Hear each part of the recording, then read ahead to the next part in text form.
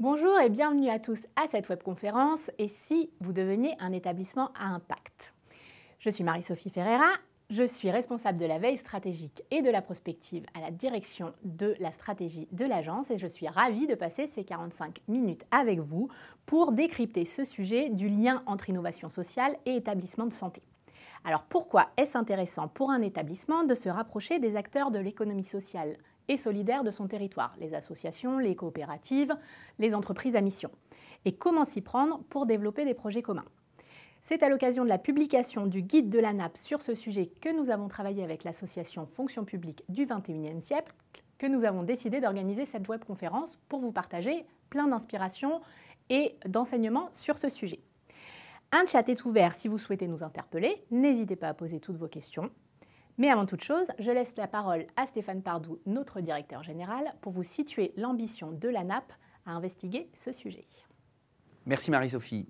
Bonjour à, toutes et à tous. Alors, vous connaissez la NAP, euh, nos interventions, nos productions, nos appuis sur vos sujets de performance en lien avec euh, votre mission première, la prise en charge et l'accompagnement des patients, des résidents ou des usagers. On vous appuie au quotidien sur euh, vos enjeux ERAS, vos enjeux financiers, vos enjeux d'investissement et d'organisation interne. Les sujets sont nombreux. Mais l'ANAP, c'est aussi une agence qui a pour mission de vous éclairer sur des sujets plus prospectifs ou d'ouverture, des sujets qui contribuent aussi, nous en sommes convaincus, à l'atteinte d'une plus grande performance de vos organisations et de notre système de santé dans sa globalité.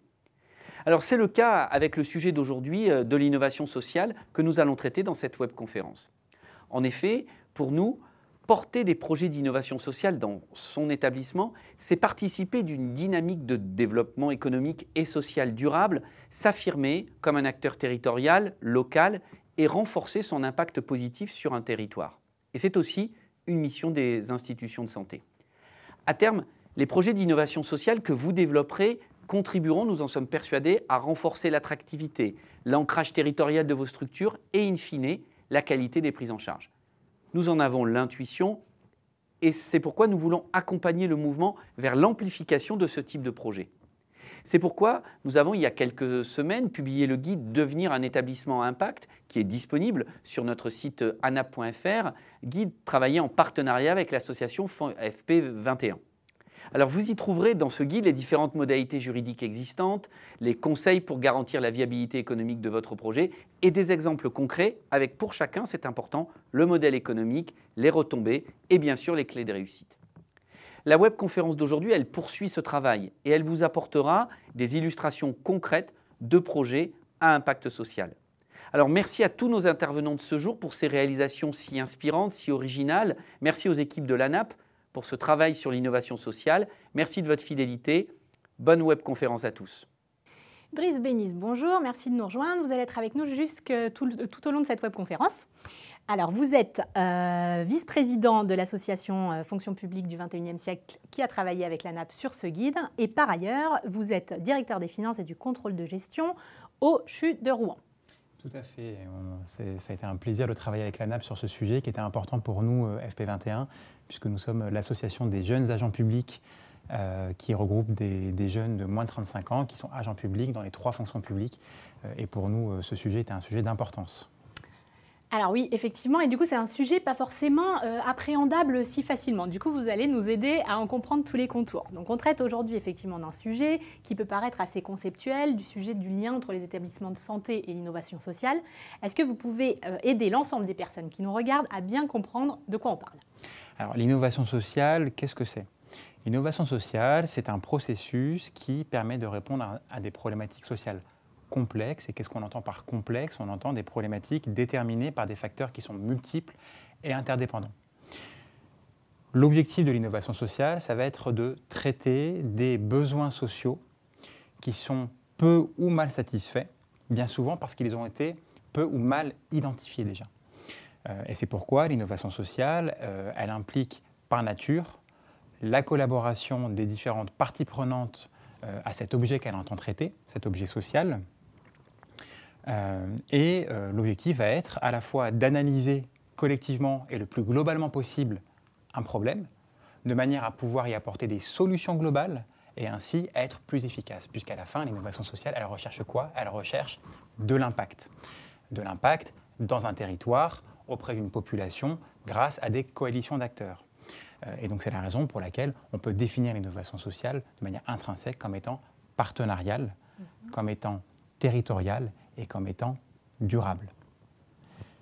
Alors qu'est-ce que ça nous apprend pour les établissements de santé? Alors, les établissements de santé, c'est très important pour eux en réalité. Euh, et il y a une véritable, il y a un intérêt à agir hein, et à se lancer euh, sur cet item de l'innovation sociale. Euh, déjà, les établissements doivent prendre conscience de ce qu'ils sont des opérateurs à impact dans leur territoire.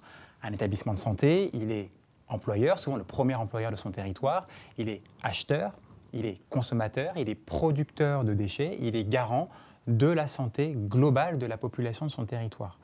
Euh, il exerce donc un impact. Et finalement, au travers de l'innovation sociale, euh, l'établissement va trouver le moyen d'amplifier son impact. Alors très concrètement, euh, les intérêts pour se lancer, et je le dis aussi en tant que praticien en établissement de santé. Qui parlait à vos, à, vos, confrères du coup Tout à fait, tout à fait. le premier intérêt, ça va être justement celui de mieux remplir nos missions. Euh, parfois, on peut avoir le sentiment, et je, crois que ce sera euh, traité dans la suite de, l'intervention, euh, on peut avoir le sentiment que finalement, on est bloqué par les champs de compétences, les champs de financement. Et donc, pour pouvoir aller plus loin, on va passer par ce truchement de l'innovation sociale qui va permettre de se libérer de ce carcan-là pour mieux remplir nos missions. nos missions, elles se sont diversifiées ces dernières années. on parle maintenant de responsabilité populationnelle, par exemple, ça va au-delà du soin ça, c'est un premier intérêt euh, mm. pour se lancer. Le deuxième intérêt, euh, il, peut être considéré comme euh, indirect, mais néanmoins, il est réel. C'est l'approche par l'innovation sociale peut permettre de renouveler la notion d'intérêt général. et ça permet de répondre en une certaine façon à la quête de sens des agents de nos structures. Nos agents, pour pouvoir les attirer, les fidéliser sur les postes, il faut qu'on apprenne à les considérer dans toutes leurs dimensions leur dimension professionnelle, leur dimension personnelle, mais aussi leur dimension de citoyen. Nos agents sont porteurs de valeurs et d'engagement, et au travers de l'innovation sociale, on leur donne aussi cette opportunité de se réaliser euh, sur ces enjeux-là. Le troisième intérêt que je mentionnerai, c'est celui euh, d'augmenter la notoriété euh, et l'image positive euh, d'un établissement. pourquoi est-ce que c'est important? Eh bien parce que derrière, ça permet aussi de renforcer son lien quasi organique au territoire. on sait que nos patients, nos résidents votent avec leurs pieds. on a envie d'être pris en charge dans une structure qu'on perçoit comme étant dynamique. Et ça peut être aussi une façon de réaliser des coalitions d'acteurs autour d'un établissement qui euh, pourra derrière se traduire par des coalitions de financement, par exemple, sur des projets identifiés. Et ça m'amène au dernier intérêt, euh, même s'il y en a probablement euh, beaucoup d'autres, sur lesquels je souhaiterais insister aujourd'hui. cet intérêt, c'est celui qui va s'attacher à imaginer et expérimenter des nouveaux modèles de financement des modèles de financement hybrides qui vont associer des ressources issues de différents secteurs publics, l'hôpital, l'État, les collectivités territoriales, mais aussi des financements issus du secteur privé. Et de ce point de vue-là, l'innovation sociale est une excellente porte d'entrée pour les établissements pour densifier leur collaboration avec le monde de l'économie sociale et solidaire. Et nous avons beaucoup à apprendre euh, les uns des autres. Merci beaucoup, Driss. Donc, en résumé, euh, contribution à la mission des établissements, réponse à la quête de sens euh, des professionnels, augmentation de la notoriété des structures et puis, bien sûr, un levier de financement. Merci beaucoup pour ces partages. On va voir comment ça se traduit dans les prochaines interventions. Merci. Deux intervenants du secteur de l'économie sociale et solidaire nous ont rejoints pour continuer à explorer le sujet du jour. Donc Lola Virol, bonjour et merci d'être avec nous. Vous êtes directrice des programmes de transition écologique et sociale et responsable du bien vieillir à l'association Make Sense. Et Thibaut de Saint-Blancard, vous êtes cofondateur de deux entreprises à mission, l'entreprise À l'envie et l'entreprise Compagnie. Euh, première question pour tous les deux, peut-être Lola euh, pour commencer. Est-ce que vous pouvez nous présenter Make Sense et nous dire pourquoi, selon vous, il y a tout intérêt à serrer les liens entre le monde de l'économie sociale et solidaire et les établissements de santé, qu'ils soient sanitaires ou médico-sociaux? Eh ben, D'abord, bah, merci beaucoup pour, euh, pour l'invitation. pour présenter rapidement Make Sense, effectivement, nous, bah, on est un acteur de l'ESS depuis près de 12 ans, vu qu'on est une association loi 1901 on, a vraiment trois grandes cibles et trois grandes activités qui est euh, de vraiment accompagner et outiller les citoyens pour qu'ils s'engagent sur les sujets sociaux et environnementaux, et notamment auprès euh, des aînés, des plus fragiles. Euh, et les deux autres pans de notre activité, c'est d'accompagner des entrepreneurs, justement des acteurs de l'EXS, les faire émerger pour répondre aux problèmes qu'on va pouvoir observer et finalement au manque d'innovation et aux trous dans la raquette qu'on voit mm. sur certains sujets, notamment bah, le bien vieillir et les sujets de santé. Et enfin, on va accompagner des organisations euh, à se transformer pour avoir plus d'impact social et environnemental. Et donc finalement, c'est un peu notre cœur de métier de réussir à faire travailler ces trois pans de la société que sont bah, les citoyens qui ont des envies d'engagement, des entrepreneurs qui apportent des solutions et des entreprises qui ont envie de faire. Enfin, quand je dis entreprise, c'est à la fois des organisations publiques, privées, mmh. associatives qui ont envie de faire bouger leur modèle. Et pourquoi je pense qu'aujourd'hui c'est particulièrement important dans le secteur euh, sanitaire et médico-social, c'est que pour moi on est vraiment un, un tournant qui soit à la fois euh, sociétal, euh, on voit qu'on a vécu des, crises dans ce secteur euh, avec le scandale Orpea, donc des crises de, maltraitance, aussi de, questions sur du modèle économique mmh. euh, sur ce secteur-là. ça se ressent beaucoup aujourd'hui dans les taux d'occupation des EHPAD qui sont au plus bas. Donc on voit qu'il y a vraiment une crise de confiance et quelque chose à recréer, que ce soit avec les patients ou avec leurs familles. Et on a aussi une crise plutôt du côté, euh, et je pense que Thibault reparlera, euh, bah, vraiment des professionnels de ces métiers-là, que ce soit crise de la vocation, d'attractivité de ces métiers. Euh, et moi, je sens une vraie envie de, de redonner de l'autonomie à ces métiers-là qui ont été très limités finalement presque à des mm. tâches qui s'enchaînent. D'un autre côté, on est aussi à un tournant plus environnemental. on sait que c'est un secteur qui pèse beaucoup dans le bilan carbone de la France, hein, la partie mm. euh, sanitaire et médico-sociale. Et donc sur ces deux aspects-là, euh, moi j'ai la conviction que les acteurs de l'ESS, ils présentent des nouveaux modèles, ils proposent des solutions qui peuvent être très concrètes. Mm. on va le voir, on l'a vu avec Envie Autonomie qui propose des solutions en lien avec l'économie circulaire. Et puis après, on va avoir des entrepreneurs beaucoup plus sur des thématiques sociales ou environnementales et qui vont donner envie à aux familles de revenir, qui vont recréer de la confiance, etc. Et donc, pour, pour ce contexte très spécifique euh, qu'on vit aujourd'hui en France, je pense que c'est primordial de, de resserrer les liens de projet, euh, des projets entre, communs entre ces, entre ces, acteurs. Thibault, une, euh, vous partagez, j'imagine, une, analyse complémentaire. Très largement, et on se connaît bien avec Make Sense. nous, on a créé une structure d'aide à domicile qui s'appelle À l'envie en 2016 euh, on est parti un peu de plusieurs constats au départ. C'est que les métiers d'aide à domicile sont, beaux et sont nobles, mais euh, d'une part, ils ont été principalement euh, envisagés. ils ont été principalement envisagés à l'aune des gestes techniques qu'on leur demande de faire, là où en fait notre métier consiste vraiment à créer du lien, à créer un lien singulier avec une personne fragile.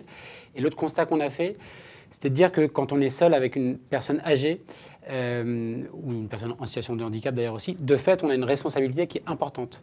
Donc cette responsabilité et ce pouvoir d'agir, hein, finalement, euh, parce qu'on a plein de décisions à prendre, il ne faut pas le nier, il ne faut pas l'occulter, mais au contraire, il faut créer le cadre de travail qui permette de, euh, l'exercer le plus sereinement possible. Donc c'est un peu la, la réponse qu'on a voulu apporter chez Alenvie en créant sur, le, sur le territoire de l'Île-de-France pour Alenvie des équipes autonomes euh, donc, c'est des équipes entre 6 et 8 auxiliaires de vie qui ont une partie de leur temps de travail qui va être dédiée à la vie de leur équipe. C'est-à-dire que, évidemment, la grande majorité du temps, elles vont accompagner leurs bénéficiaires, des personnes âgées, en perte d'autonomie, et elles vont avoir du temps de travail où elles vont pouvoir se réunir, elles vont pouvoir faire leur planning, elles vont pouvoir se recruter, etc. Etc, etc. Et ça, on ne le fait pas parce que euh, c'est à la mode ou ça fait bien d'être euh, entreprise libérée ou quoi que ce soit. On le fait parce que ça a du sens et on le fait. Euh, et, ici, l'autonomie, voilà, ce n'est pas une finalité, c'est vraiment, vraiment un moyen. C'est un moyen de pouvoir engager les professionnels dans la durée. Donc, euh, donc voilà, et c'est vrai que l'idée derrière ça, et pour rebondir un peu sur ce que Lola disait, nous, ce qu'on a toujours en tête, parce qu'on est aussi dans des métiers qui sont pas forcément simples, où aussi la rentabilité de temps en temps est assez difficile à, à, préserver. Et l'idée vraiment avec laquelle on travaille, c'est vraiment comment est-ce qu'on va mettre sur le même plan la rentabilité d'une structure et l'impact social qu'on va créer. C'est-à-dire qu'on ne va pas euh, être ou, ou trop, euh, ou trop d'un côté ou de l'autre, parce que sinon euh, c'est l'autre versant qui va en pâtir, mais c'est toujours cet équilibre qui est à trouver et, qui n'est pas simple à trouver. Pour poursuivre sur les illustrations et pour pouvoir euh, voilà, exemplifier et permettre à toutes les personnes qui nous regardent aujourd'hui d'essayer de, s'inspirer et d'essayer d'oser, est-ce que vous pouvez nous partager certains des projets sur lesquels vous travaillez aujourd'hui euh, chez Make Sense? Avec plaisir. Nous, on travaille par exemple avec la, Fondation Partage Vie qui va à la fois avoir des EHPAD et des résidences autonomie. Euh, et l'objectif, c'est de se dire, on va faire une stratégie RSE, mais au lieu qu'elle soit décidée par euh, les personnes de la direction au niveau du siège, on va à l'inverse euh, impliquer des collaborateurs, on va leur proposer des thématiques très précises sur lesquelles euh, on sait qu'on veut se bouger, donc effectivement des enjeux environnementaux, des enjeux sociaux, l'autonomisation des équipes. ça va permettre de constituer des petits groupes avec vraiment tout niveau de profil. L'idée, c'est qu'il n'y ait pas justement que des cadres. Et ce qu'on va leur demander de faire, c'est de regarder, enfin qu'on a déjà fait, hein, c'est de se dire, bah, vous regardez cinq bonnes pratiques qui existent déjà en interne, parce qu'en en fait, il existe beaucoup de choses, et aussi vous vous inspirez en externe de ce que font justement des acteurs de l'ESS sur la question de l'autonomie. On a bien entendu, par exemple, recommander euh, compagnie, et le but après, c'est de recommander bah, cinq actions internes, cinq actions externes qui peuvent être menées très concrètement, et du coup qui, au lieu quelque part d'être imposées, auront aussi été choisies par les collaborateurs. Euh, et puis après, sur des projets très concrets et très terrain, euh, ce qu'on a pu voir au jardin d'Haïti, qui, est un EHPAD, euh, c'est vraiment aussi des projets de bon sens de se dire, bah, dans le quartier, on a un conservatoire de musique qui en manque de, de salles, et ben on peut les accueillir pour bah, des cours de musique et prêter et mettre à disposition des salles. certains EHPAD où il va y avoir des chambres de libre, et en mmh. fait, on se dit, on accueille des étudiants et en échange, ils vont donner ce qu'ils disent du temps relationnel. C'est ce qui est fait ensemble de, générations. Et donc, en fait, il y a ces échanges de bons procédés, euh, finalement, très concrets, euh, où parfois, c'est vraiment la méconnaissance entre deux, deux secteurs qui se mm. fréquentent très peu. Euh, et puis qui n'osent pas passer l'étape d'aller enfin, toquer à la porte, entre guillemets, un physique ou digital, mais de se dire, ben, en fait, je, je suis un, je suis un hôpital, pourquoi est-ce que je n'irais pas demander euh, ce qu'on a fait aux hospices civils de Lyon à un Fab Lab de venir s'installer euh, pendant le Covid pour pouvoir euh, produire des masques. Et aujourd'hui, ça permet de produire des aides techniques, ça permet de produire des organes pour permettre aux chirurgiens de préparer des opérations. et ça paraît un peu impromptu au départ. Et moi, à chaque fois, je suis hyper impressionnée de, ce personnel de santé qui se dit, ben, allez, je veux aller voir quelqu'un de complètement différent et on va voir ce que ça, ce que ça peut donner de nouveau. Mm. Euh, Thibaut, ça vous, ça vous interroge, vous interpelle ce, le témoignage de Lola peut-être sur... Euh, Moi j'aime vraiment bien le, voilà, le, fait de pouvoir accompagner des structures, là, ce que tu racontais avec euh, la Fondation Partager Vie, c'est redonner la parole aux personnes qui font, aux personnes qui sont sur le terrain parce que c'est elles qui savent et c'est elles qui vont compléter évidemment ce qui, se, voilà, ce qui peut aussi se penser dans les sièges, mais c'est important parce que ça redonne du sens. Mm. Ça redonne du sens. Nous, ce qu'on a fait en, voilà, en essayant de faire évoluer et de créer un cadre de travail vertueux euh, auprès des, des, auxiliaires, typiquement, ça va dans ce sens-là, c'est-à-dire qu'il euh, n'y a pas de dogme sur les auxiliaires décident tout, mais mm. euh, on se pose la question à chaque fois de ce qui est le plus pertinent. Et ce qui est intéressant, c'est que ça, on, l'a fait, on n'a pas du tout été les, la telle structure la seule structure à le mettre en place, pardon.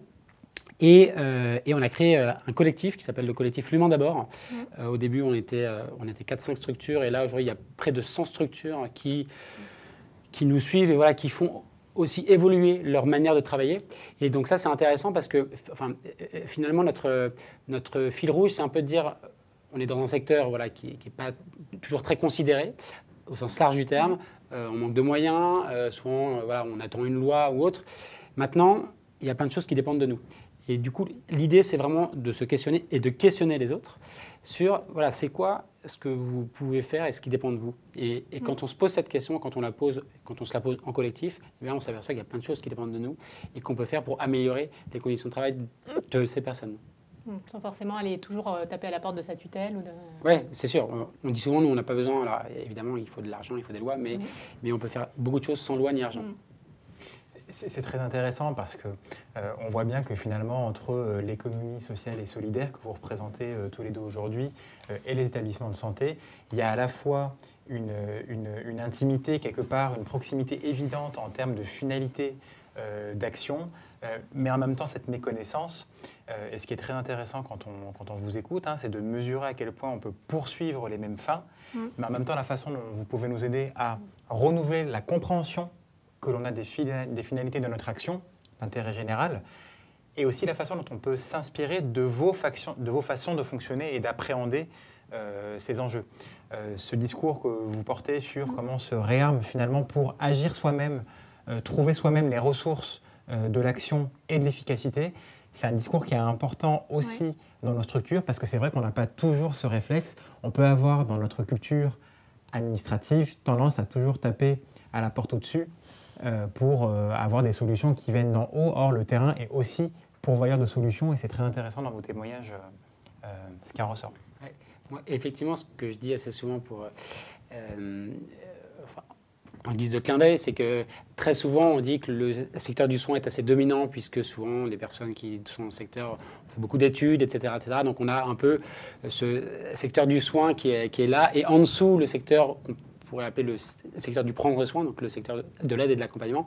Et là, c'est vrai que ce qui est bien, et je, souscris euh, tout à fait à ce que tu dis, c'est que voilà, on se rend compte que euh, la manière d'accompagner, la manière de, d'être avec, eh bien, ça peut vraiment inspirer le, le secteur du soin. D'où l'idée d'arrêter de raisonner que en silo et de, et de voir comment on peut s'inspirer mutuellement. C'est intéressant. Ben, merci à tous les deux pour euh, voilà, nous bouscu- bousculer un petit peu le- les acteurs du système euh, avec vos témoignages. On va donc poursuivre avec euh, justement deux témoignages de projets qui, illustrent concrètement ce sujet de l'innovation sociale. Donc, le guide de l'ANAP présente sept initiatives inspirantes de projets qui traitent de l'innovation sociale. On a voulu en illustrer deux aujourd'hui. Merci à nos deux intervenants de nous rejoindre, Philippe Robin et Dr Atem. Philippe Robin, je vais d'abord me tourner vers vous. Donc, vous avez développé avec euh, le projet Envie Autonomie un, projet euh, très ambitieux et très innovant euh, qui traite du sujet du réemploi des aides techniques. Est-ce que vous pouvez nous présenter ce projet et un petit peu voilà, toutes les étapes de développement partenarial et territorial que vous avez mis en place ces dernières années autour de ce sujet? Bonjour, merci de nous accueillir.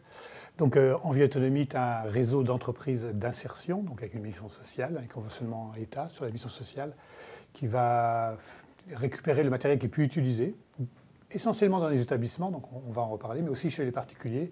Je parle de aide technique pour compenser la situation de handicap et la perte d'autonomie. Ce matériel va être trié avec, avec des critères assez précis et, pointus de, tri. Et puis une partie va être euh, remise en état d'usage, je dirais c'est la sécurité sociale, mais nous on dit reconditionné, pour être distribué donc en gros à 50% du prix du neuf avec toutes les garanties et conformités réglementaires. Donc aujourd'hui on est une vingtaine, 21 établissements en France. Hein, on a créé une SIC qui est une tête de réseau qui anime et qui développe ce projet en France et qui fait aussi des plaidoyers, qui, rencontre les partenaires au niveau nationaux. Et on a une ambition de couvrir le territoire national, enfin, tout du moins d'apporter une offre complémentaire issue de l'économie circulaire sur, sur tous les territoires, c'est-à-dire tous les départements en France. Ok, donc on comprend euh, là au travers de, de cette, euh, de cette présentation le côté partenarial, le côté territorial, le côté euh, durable que Driss évoquait en introduction. Sur le côté partenarial, peut-être, est-ce que vous pouvez nous en dire plus du coup sur les, bah, voilà, entre la collecte, le- le- la remise en état, le réemploi, la remise en circulation? Du coup, quels sont les, partenaires avec qui vous travaillez au quotidien? Et peut-être, du coup, en insistant sur les établissements de santé, euh, le sûr. lien que vous créez, vous, Bien entre sûr. l'entreprise à impact et du coup les établissements? On ne peut pas lancer un projet de- de- comme ça, de cette envergure, et sur ce thème-là tout seul, de toute manière. Et le, le cœur de métier des entreprises en vie, c'est l'insertion. Donc il y, a, il y a deux sujets qui sont centrales. C'est la question de l'approvisionnement. C'est-à-dire qu'il n'y a pas d'économie circulaire s'il n'y a pas d'approvisionnement. Donc le, le premier partenariat avec tous les établissements, c'est de permettre à l'établissement de plus jeter, mais de donner, en disant que ça peut avoir une seconde vie, soit pour un autre établissement, soit pour l'établissement propre, soit pour une personne individuelle. Puis après, il y a la question évidemment de la distribution. C'est l'économie circulaire de sens, que si le matériel est utilisé, c'est pas juste pour le mettre dans un hangar, pour qu'on on en soit content qu'il ait été remis en état. Donc la question de la distribution est centrale, et ça c'est une deuxième étape très importante du partenariat. Et, et elle, est, elle est complexe, parce qu'il faut, il faut convaincre à la fois de, de la capacité de faire un matériel de qualité, que ce matériel-là a bien toutes les garanties conformité en termes de sécurité, en termes d'hygiénisation, en termes de performance, en termes d'usage. C'est-à-dire nous, on va mettre en place des process qui vont certifier que la technique qui est redistribuée est conforme à sa mise sur le marché, dans toutes ses dimensions. Et donc là, la relation avec l'établissement est essentielle sur ces deux volets-là, à la fois sur le don, c'est souvent la première porte d'entrée, et puis après, c'est essayer de convaincre l'établissement que le matériel de seconde main est possible.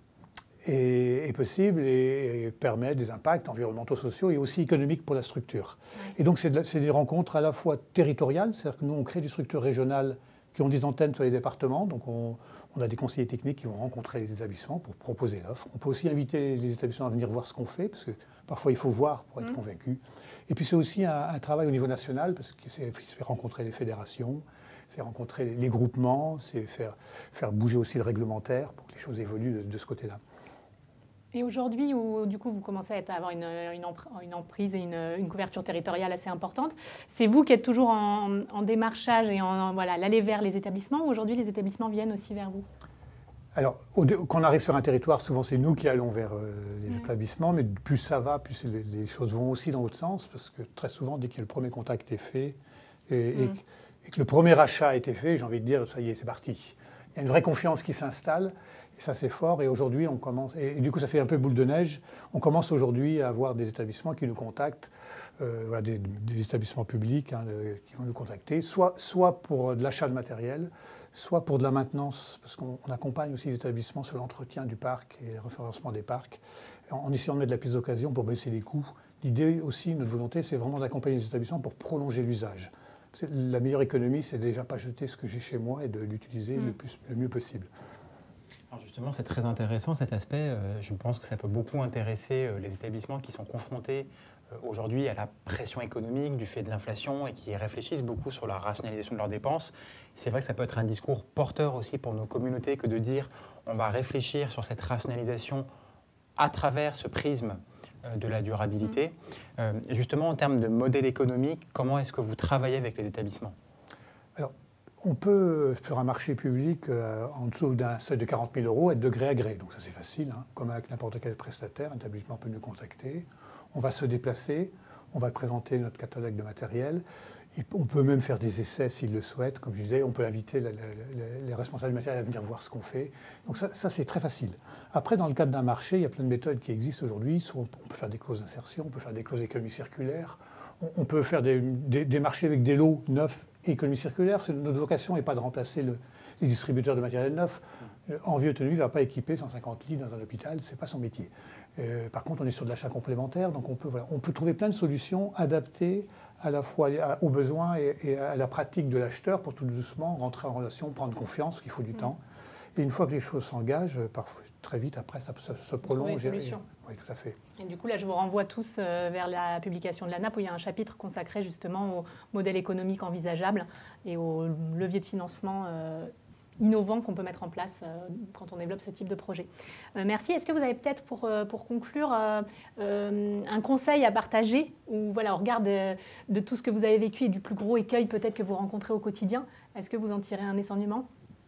Ce que, je, ce que je peux dire peut-être, c'est que je suis convaincu que l'économie circulaire du matériel mm. médical va rentrer dans le droit commun et va, rentrer dans, les politiques d'achat globales en France. Aujourd'hui, on est très en retard par rapport aux pays européens ou au Québec. Hein. Vous savez que 40% des, aides techniques au Québec sont issues de la seconde main. Mm. C'est la même chose en Allemagne, donc on est très en retard. Donc, euh, le réglementaire est en train d'évoluer, donc les choses vont bouger. Donc on est convaincu que c'est un modèle d'avenir. Alors nous, on est pionniers aujourd'hui, on gratte et on mm. Donc voilà, alors, je ne sais pas si j'ai une école. Ce que je, ce que je souhaite, c'est que tous les établissements osent. Il faut oser, il faut, il faut y aller parce que ça fonctionne. On démontre depuis 10 ans, nous, que c'est possible et que c'est possible en toute sécurité, qu'il n'y a pas de problème. Et donc, il faut, il, faut, il faut frapper à nos portes, il faut venir nous voir et je suis convaincu qu'on peut faire beaucoup de choses. il y a des enjeux économiques très forts. Mm. En tout cas, ce qui est très intéressant, c'est de voir que aussi, au-delà de l'évolution du cadre réglementaire euh, ou des incitations parfois qu'on peut avoir à développer ce type euh, d'achat et de, marché, c'est la pression, finalement, la demande sociale qui vient de la part de nos usagers, mais aussi de nos agents sur ces sujets. Et donc, c'est euh, aussi intéressant en termes de perspective managériale, euh, comment dans un établissement on crée des dynamiques autour de ce type euh, de projet. Tout à fait. Merci beaucoup. Docteur Atem, je me tourne maintenant vers vous. Vous êtes la fondatrice de la Maison des femmes de Saint-Denis, un projet emblématique euh, autour de ce sujet de l'innovation sociale. Donc, même question, est-ce que vous pouvez nous présenter peut-être euh, euh, la source du développement de, ce projet de la Maison des femmes et un petit peu son ambition aujourd'hui, pour commencer? Bien sûr.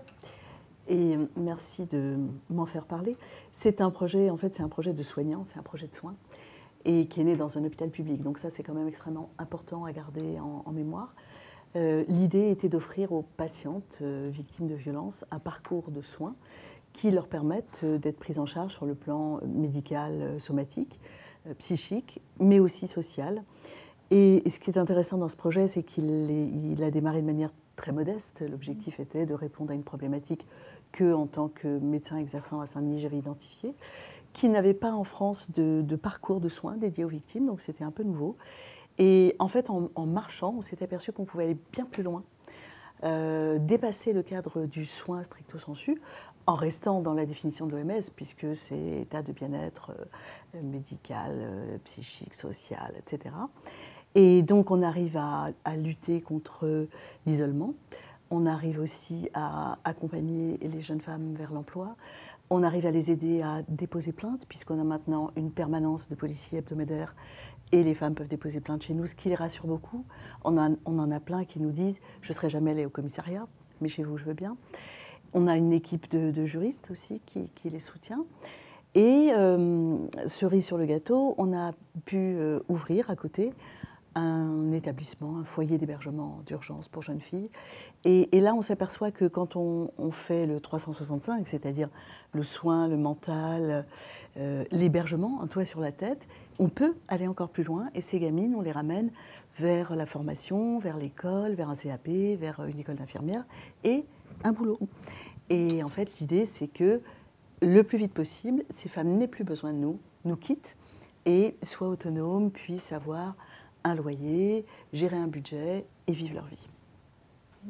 Je crois que sur l'impact, justement, euh, il y a une évaluation qui, est lancée tout juste euh, là maintenant, c'est ça que vous m'évoquiez? Tout à fait, on a appris qu'un projet de recherche allait être euh, porté par un CHU pour évaluer ce que pouvait être l'impact spécifique mm. d'un projet reposant sur un lieu identifié, puisque c'était une dimension forte du projet que, vous avez porté.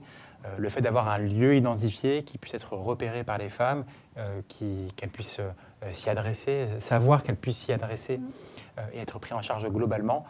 et donc avec une étude qui va comparer finalement différents types d'accompagnement pour ces, pour ces publics vous renvoie aussi du coup là, vers notre publication où il y a aussi tout un chapitre consacré du coup aux méthodes pour évaluer les projets que vous pourriez développer. Euh, donc on est ravis de voir que ce projet peut s'engager dans ce type de travaux. Euh, peut-être pour revenir sur la dimension partenariale dans votre projet qui est très, qui est très diverse et protéiforme, est-ce que vous du coup vous pouvez nous partager euh, vos enseignements, tout ce que vous en avez tiré, peut-être de difficultés et puis finalement de richesse in fine à travailler avec tous ces partenaires? Oh ben, vous avez raison de, parler de, de, parce que quand on monte ce genre de projet, au début, on se dit bah, ça va être comme d'habitude, euh, les soignants parlent aux soignants. Et puis très rapidement, l'argent devient le principal frein. On ne peut pas construire, on ne peut pas recruter, on ne peut rien faire. Et ça nous a obligés à sortir de notre zone de confort, de notre métier d'origine, et à commencer déjà à tisser des liens avec la ville, avec la région, avec le département, avec tous les gens qui pouvaient euh, nous aider financièrement, mais c'était clairement pas assez. Et donc là, on est passé dans une autre dimension qui est le, mécénat. Et ça nous a permis aussi d'entrer en contact avec des fondations privées assez conséquentes. Et là, la première, et qui est encore là, la Fondation Kering, par exemple, grâce à laquelle on a pu non seulement mettre le pied à l'étrier, mm. mais continuer à avancer. Et moi, l'enseignement que j'en ai tiré, c'est que il faut beaucoup de ténacité, il y a beaucoup de solitude, mais qu'une fois qu'on a passé un cap, les choses s'enclenchent, les choses deviennent plus faciles, l'argent appelle l'argent, la confiance appelle la confiance. Et donc, euh, je, m'aperçois qu'en fait, ce réseau, ce réseau de financeurs, euh, qui repose aussi sur des entreprises engagées, pas forcément des très grosses fondations, et puis sur le public, en fait, fonctionne super bien. Et peut-être euh, ce qu'il faut dire aussi, c'est qu'on ne peut pas se reposer sur nos lauriers parce que ce n'est pas quelque chose qui est pérenne forcément et ça demande beaucoup de créativité et beaucoup d'innovation de, dans, le dialogue euh, pour euh, maintenir en fait euh, très vivant ce partenariat. Ce qui est assez impressionnant aussi dans l'expérience que vous avez montée, c'est justement toute cette dimension innovante sur les aspects de gestion, puisqu'on est sur un modèle économique hybride qui associe différentes sources de financement, à la fois des ressources propres de l'établissement de santé auquel vous étiez adossé, des ressources issues du mécénat comme vous l'évoquiez, des ressources de subvention, et avec euh, une appropriation très forte des, enjeux de gestion, puisque vous avez fait appel à des certifications externes euh, pour venir euh, euh, certifier votre projet, euh, rassurer les financeurs, donc euh, une démarche très positive. Est-ce que vous pourriez nous dire un mot aussi de la dimension d'essaimage du projet, puisqu'on est sur un projet qui a vocation et qui a construit sa diffusion euh, sur le territoire français? Oui, merci. C'est très important pour nous parce que au début, donc, comme je dis, on était extrêmement modeste. Petit à petit, on a été euh, approché par des élus, par des politiques et par des médecins. Et euh, nous, on a très rapidement expliqué qu'on voulait dupliquer le modèle, mais toujours adosser un établissement de santé. Et donc, on a aujourd'hui 15 équipes médicales qui ont monté presque le même projet. Chacun s'adapte à son territoire, à ses besoins, et fonctionne exactement pareil. Et ce qui est super intéressant, c'est que notre équipe de mécènes proches, ceux qu'on connaît depuis 10 ans, on dit directement, eh bien écoute, on va aider aussi les autres maisons. Donc aujourd'hui, chaque maison, quand elle est adoubée, bénéficie d'un ticket de 150 000 euros par an pendant trois ans, issu du mécénat. Et, plus sur et- et avec les financeurs publics aussi qui commencent Heureusement. à embrayer et à euh, proposer des fenêtres d'appel à projet aussi Bien pour sûr. pouvoir monter ce type de projet. Donc c'est tout à fait encourageant. Ouais, et on, on- on crée la transformation du système. Là, c'est quand Tout le fait. terrain, du Ouais. coup, et fait. avance petit à petit Tout et finalement euh, euh, transforme le, le haut in fine. Vraiment, bravo à tous les deux pour tout ce que vous engagez et toute cette ténacité que vous nous avez euh, décrite là. Merci beaucoup. Merci à tous nos intervenants pour les partages si inspirants. Les mots à retenir donc, oser, expérimenter, tester, innover. Je vous renvoie vers notre, pub- notre publication sur le site internet si vous voulez en savoir plus. Et si vous vous lancez concrètement sur un projet, n'hésitez pas à nous en informer pour que l'ANAP puisse vous accompagner.